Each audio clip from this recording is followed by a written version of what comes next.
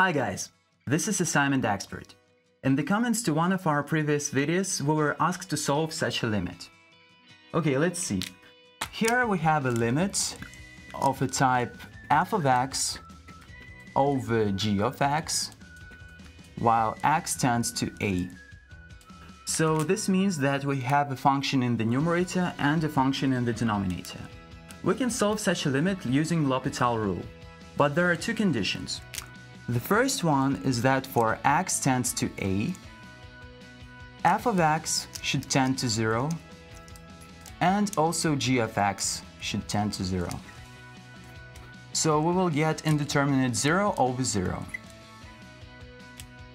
And the second condition is that the limits of f prime of x over g prime of x for x tends to a should exist.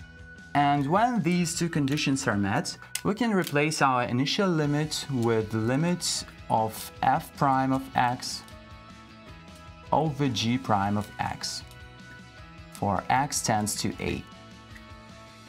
So now let's apply this rule to our example. Alright guys, now let's have a closer look at our limit.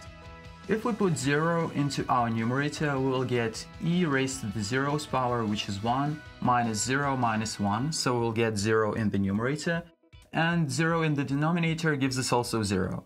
So this condition is met. Now let's find derivatives of numerator and denominator. So we will get limits for x tends to 0, and in the numerator we will get e raised to the x power minus 1 and negative 1 gives us 0. And in the denominator we get 2x. So this limit exists and we applied L'Hopital's rule. So now let's put 0 into this limit. We will get e raised to the zeros, which is 1, minus 1. So again we have 0 in the numerator and x tends to 0 gives us 0 in the denominator. So here we need to apply L'Hopital's rule again. But first we can factor out 2 in the denominator in front of our limit. So this gives us 1 half of limit of e raised to the x power minus 1 over x for x tends to 0.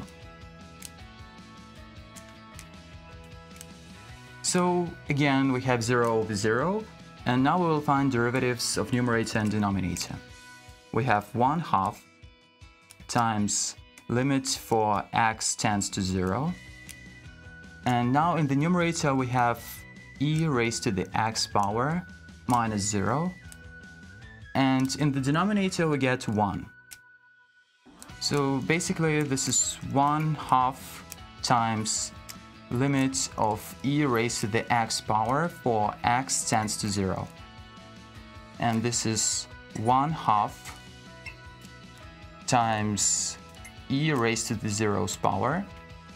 And this is equal to 1, therefore the answer is 1 half. So here we found this limit. Thanks for watching us and I see you next time.